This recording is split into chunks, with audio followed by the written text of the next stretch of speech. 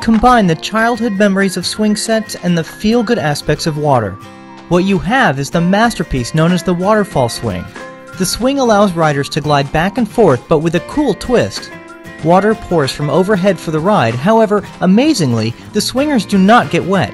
Each time the rider passes under the top frame piece, the water halts briefly, leaving a gap for the person to swing through. A downpour of water hits the ground immediately after the swinger is safely through. The set is constructed of an 18 foot steel framed swing carrying two seats, which are both held by steel cables. However, the traditional appearing swing set is actually technology ridden, utilizing sensors, encoders, solenoids, and a controller board. Swing sensors send individual angle and speed information to the computer, which then makes a gap in the water wall.